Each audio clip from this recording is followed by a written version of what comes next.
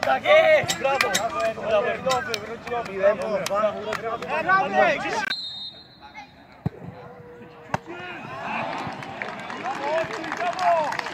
Ej, dawaj, dawaj!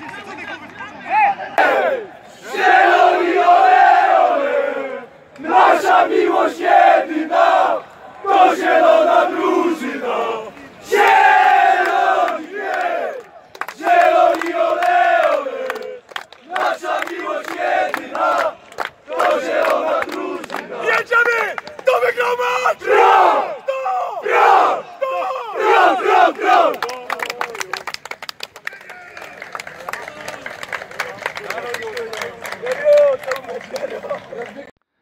E, Dariusz Kęska, trener Gryfu Policzna. E, Czwarta kolejka Ligi Okręgowej. Gryf przegrywa w pionkach 1 do 5, chociaż do przerwy prowadził 1 do 0. E, Trenerze absolutny dzisiaj Beniaminek spotkał się z jednym z głównych faworytów do wygrania ligi i po takiej porażce ten jest, e, można powiedzieć, wściekły, zły na swoją drużynę, czy, czy w części dumny, że, że postawiła się i, i do pewnego momentu była ta chyba ta wiara, że coś tu da się zrobić. Yy, Dzień dobry Państwu, witam wszystkich kibiców. No ja myślę, że, że jak ktoś był na meczu, to widział to, jak to spotkanie wyglądało. Mi się wydaje, że, że, że wynik jest nieadekwatny do, do gry. Myślę, że kibice obejrzeli bardzo dobry mecz. Pierwszą połowę zagraliśmy bardzo dobrze, bardzo mądrze. No w drugiej połowie Proch zdominował, można powiedzieć, sporo błędów u nas. Tak się ułożyło, że te bramki traciliśmy, można powiedzieć, useryjnie. No ale w piłce tak się, tak się układa. Y, Ja myślę, że, że przede wszystkim chodziło o to, żebyśmy dali dobry, dobry mecz dla kibiców i daliśmy. My jako Beniaminek wiadomo, że, że szukamy tych punktów. Dzisiaj też przyjechaliśmy, nie, nie murowaliśmy się, walczyliśmy o trzy punkty. Ułożyło się tak, jak wszyscy widzieli. No. Ale nie jestem zły, nie jestem tutaj daleki, jestem od, od, od jakiejś yy, tutaj ganienie, ganiania yy, swoich, swoich zawodników, bo myślę, że, że, że powalczyli, zagrali w drugiej połowie, bym powiedział, zabrakło, może było też trochę zabrakło siły, yy, troszkę nam brakowało świeżości jeszcze, wi- wiadomo, w drugiej połowie. No i, no i tak się ułożyło, jak się ułożyło. Straciliśmy trzy bramki po kolei, można powiedzieć, ze swoich błędów. E, Też gdybym zapytał o to, co, co na ten mecz planowaliście i jak to wyglądało na boisku, to chyba w pierwszej połowie 100%, a w drugiej już zdecydowanie mniej.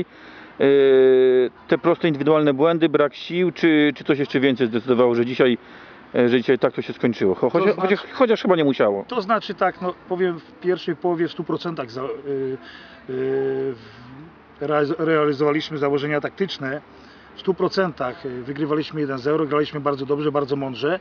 W drugiej połowie trzeba oddać Prochowi, że, że przyspieszył, przycisnął, zagrał bardzo dobrą drugą połowę. My daliśmy się zdominować, no i niestety no, poszło, wyszło, wyszło. Myślę, że na pewno byliśmy zespołem ogólnie słabszym, jednak ten wynik jest za wysoki zdecydowanie. No, można powiedzieć, że bramki tak wchodziły yy, w skuteczności stuprocentowej. Mhm, tak grający e, dzisiaj Proch to bardziej trenera oczarował, rozczarował. E, Jak ten trener tą drużynę widzi? Yy, To znaczy, bym powiedział, że no, pierwsza połowa słaba. W wykonaniu Prochu było widać, że słabo. W drugiej połowie już rozkręcili, grali dużo lepiej. Ja myślę, że czas pokaże. Jest, przed nami jest dużo, dużo meczy. Proch wiadomo, że jest faworytem rozgrywek. Życzę mu, życzę mu jak najlepiej i życzę mu awansu. A jak się wtedy odnajduje gry w Policzna, bo absolutny Beniaminek i e, często słyszy się opinię, że przeskok za klasę do Ligi Okręgowej to naprawdę, e, naprawdę skory, spory przeskok. Wy pokazaliście, że, że niekoniecznie, bo wygrana w Lipsku, remis u siebie z Szydłowianką, ale teraz e, dwie wysokie porażki. To zapowiedź takiego lekkiego kryzysu, czy coś trzeba wstrząsnąć drużyną, Może- czy jeszcze, jeszcze nie pora? Może, może, może, no po prostu tak się ułoży, ułożyły mecze. No. Yy, wiadomo, że dzisiaj mógł się ten mecz też inaczej ułożyć, prawda? Ułożył, jak, ułożył się jak się ułożył, tak, dlatego nie, nie, nie będziemy tu żadnego wstrząsu e, robić. Myślę, że, że dopiero uczymy się tej ok- ok- okręgówki, jak na Beniaminka walczymy, chcemy, chcemy te punkty zbierać i myślę, że jeszcze w kolejnych meczach uzbieramy tych punktów. Wiadomo, że my walczymy, my wa- my walczymy o utrzymanie, prawda? Także, także to, tą porażkę dzisiaj w pionkach y, można było sobie tak jak do, w pewny sposób y, y, zakładać. Dzięki bardzo. Dziękuję bardzo. E, Robert Rogala, trener Prochu Pionki, czwarta kolejka Ligi Okręgowej. Proch e, wygrywa dzisiaj z Beniaminkiem Gryfem Policzna 5 do 1 i po dwóch meczach e, w Pionkach trenerzy kibice nie mogą powiedzieć, że, że jest nudno na sportowej, bo chyba w tych dwóch meczach 6 rzutów karnych i mnóstwo, mnóstwo różnych sytuacji, ale to mniejsza z tym. Dzisiaj no chyba każdy musi zapytać o jedną prostą rzecz. Dlaczego przed przerwą nie było tak jak po przerwie, bo faworyt do wygrania ligi gra z Beniaminkiem i jeden, jedyny celny strzał daje w 40 minucie, a poza tym e, można powiedzieć brutalnie nędza i rozpacz. No niestety, e, w przerwie powiedzieliśmy sobie dużo e, słów tak po męsku. E, Powiedzieliśmy, że tak naprawdę mamy 45 minut na to, żeby odwrócić losy spotkania.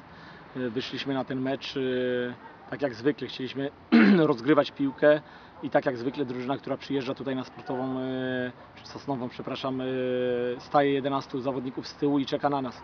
My mamy problem z rozegraniem akcji. I dlatego tak się dzieje. W drugiej połowie powiedziałem chłopakom, żebyśmy zagrali dużo prościej, z wykorzystaniem tutaj e, bocznych sektorów boiska i przyniosło to e, skutek. Przede wszystkim zagraliśmy wyżej i zagraliśmy agresywnie na całym boisku. Zaczęliśmy e, pressingiem, wysokim pressingiem i to tak naprawdę zdecydowało o tym, że zepchnęliśmy drużynę z policznej do obrony. No i dzięki temu zaczęliśmy stwarzać notorycznie sytuacje, które dzisiaj mimo tego przestrzelonego karnego jednak żeśmy wykorzystali.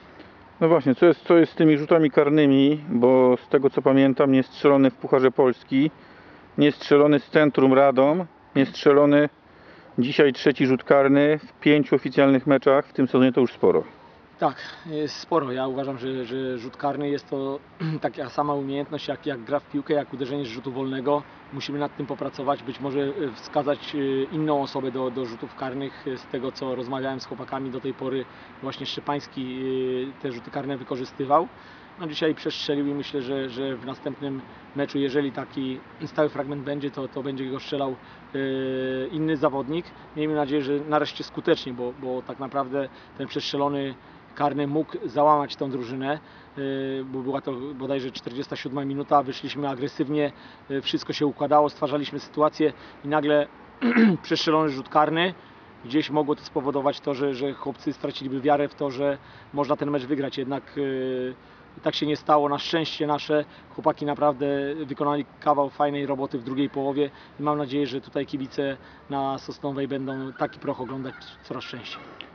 E, Nie jest trochę tak, że, że dzisiaj ten proch jest uzależniony od, od, indywidualności, od indywidualności, bo nie ma co prawda Daniela Barzyńskiego, bo jest kontuzjowany i to na pewno jest bardzo duża strata, każdy to wie, ale jest Kacper Wnuk, no dwa razy z dystansu z Zawiszą Sienno, dzisiaj e, kapitalna akcja, mija dwóch piłkarzy, strzela bramkę, co by było, gdyby go nie było w prochu dzisiaj?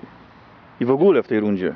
No ja myślę, że, że e, nie po to robiliśmy transfer tutaj Kacpra e, do naszego zespołu, żeby nie pokazywał i nie odwdzięczał się e, dobrą grą. Natomiast Kacper drugą połowę może, można powiedzieć, że zagrał perfekcyjnie, zupełnie odwrotnie do pierwszej. W, w pierwszej dużo strat, często piłka zostawała gdzieś pod nogą, nie wygrywał pojedynków jeden na jeden z tego, z czego jest znany tutaj w tej lidze.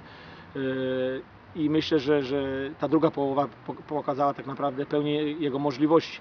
E, Dzięki Bogu dla, dla Prochu, e, oprócz niego także odblokował się Kacper Nowocień, który dzisiaj strzelił dwie bramki i mam nadzieję, że ten zawodnik też da nam tutaj dużo e, dobrego w, ofensywie, bo naprawdę sporo potrafi, sporo potrafi i, i drużyna będzie miała z niego na, na pewno duży pożytek. Mm, Zapytam krótko o Daniela Barzyńskiego. Wiem, że już po badaniu USG naderwany mięsień. Jakie wstępne prognozy, kiedy jest szansa, że na boisko wróci? No, po rozmowie z Danielem y, wiemy już, że, że ma naderwany mięsień dwugłowy na odległości bodajże tam 3-4 cm. Przechodzi rehabilitację, myślę, że 3-4 tygodnie i powinien wrócić do treningu. Y, Daniel jest takim zawodnikiem, że jemu nie potrzeba naprawdę dużo treningu, żeby wrócił na, na swoje tory i myślę, że jeszcze w tej rundzie spokojnie tutaj pomoże drużynie, szczególnie tutaj w ofensywie, bo, bo jest to naprawdę bardzo wartościowy zawodnik. Dziękuję bardzo.